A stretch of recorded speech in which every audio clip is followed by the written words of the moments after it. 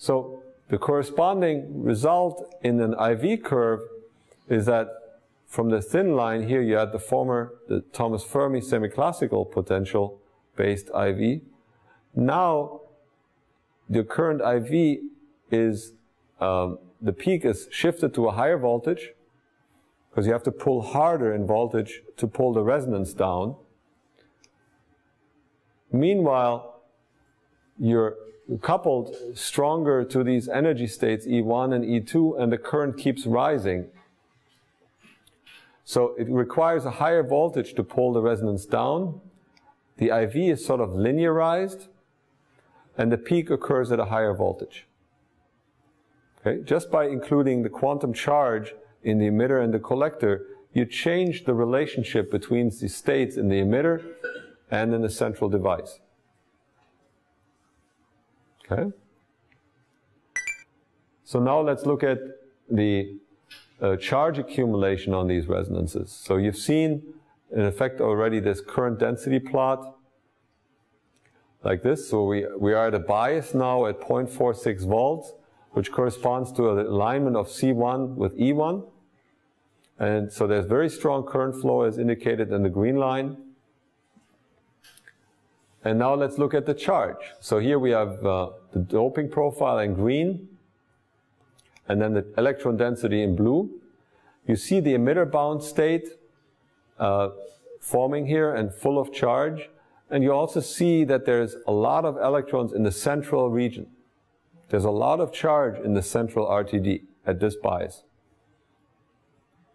Okay, so there's significant charge accumulation, and if there's accumulation, that means the potential wants to float up in the middle. It wants to push that charge out, and the only way out is up. Okay, so the electrostatic potential goes up and it resists the pull down.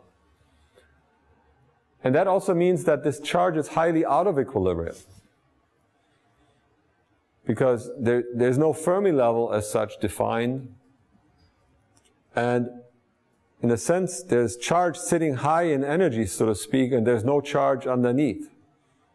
Right? It's sitting in that resonance state that is full and there's not much charge underneath. That's a rather non-equilibrium distribution of charge. The key element here is that this is a nominally uh, symmetric RTD. It's become a little bit asymmetric because we applied a voltage. But still, we have a lot of charge in here. Okay? And due to this asymmetry, we would have thought that it empties out faster than it fills, but it still has a lot of charge. Okay, now let's look at what happens in the valley current here at 0.76 volt, where we align the central resonance here uh, again with the bottom of the emitter. At that stage, Basically, there's very little supply from the emitter, and the well is empty. Okay? So the supply of charge from the emitter is diminished, and there's little charge in the well, the resonance has emptied out. And again, I've shown this similar chart on the previous lecture without charge self-consistency. It didn't change a whole lot. There's a little bit of supply of current that comes from the tail ends of E1 through C1, you see these echoes of E1 and E2 in the current density. And there's about 20% of the current flowing through C1.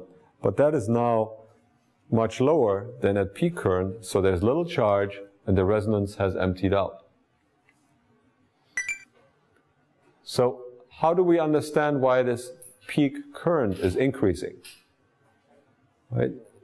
It seems like nothing much has happened to the resonances, etc. I would explain this with a change of lever arm. So if you had a linear potential drop, if you had no charge in here, so to speak, you would have a linear potential drop. But we've argued that since we have non-equilibrium charge, this guy floats up, right? It's effectively coupled strongly to the emitter right? As long as there's supply from the emitter, there's more charge than there ought to be, so the potential tries to pull it down and push it out. So it floats up. That means the lever arm over which you drop the potential is mostly happening in the collector. But there's no charge in here, in the, in the barrier either. Right? There's very little charge in the barrier. That means the lever arm goes really up to here, to the end of the well. And since this is floating up, there's more potential now dropping over that collector barrier. So as it floats up, you pull down the gate of the, at the collector and you make it more and more asymmetric that makes that structure more asymmetric, that makes that resonance broader, which makes more current flow. That's why the peak current here is larger. It's not a dramatic effect, but it's still an important effect. Okay, so it floats up in energy, along a lever arm, more potential drops over the collector barrier, C1 feels a smaller collector barrier, and the resonance becomes broader. Okay? So let's see if that is true.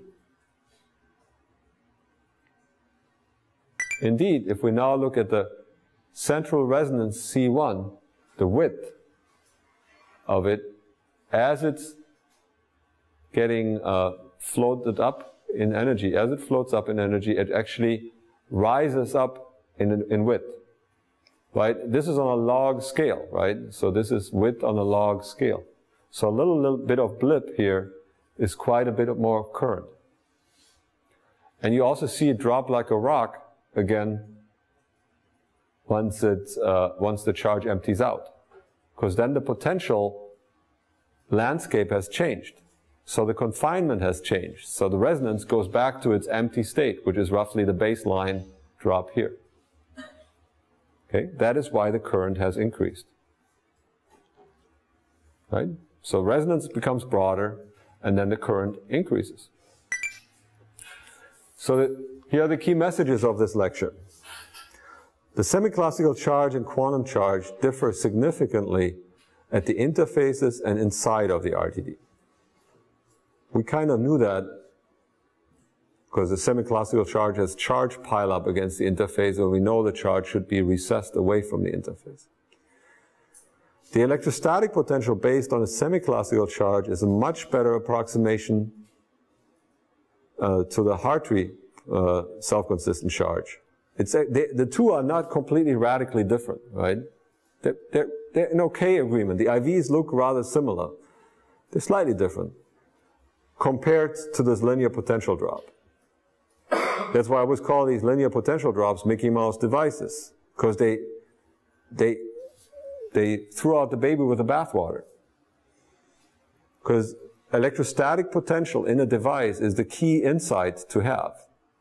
If your device model does not have good electrostatics, you can do all you want. You're never going to really match experimental data.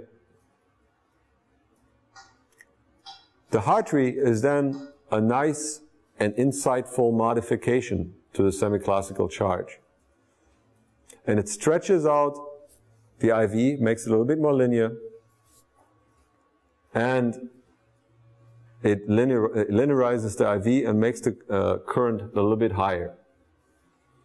The subtle message is that even a symmetric RTD has a significant charge accumulation at peak current, which is highly out of equilibrium. Okay, are there any questions?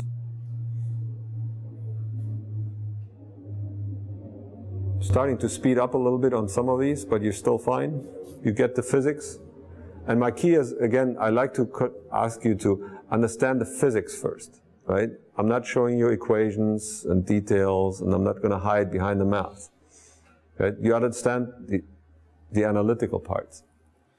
Okay?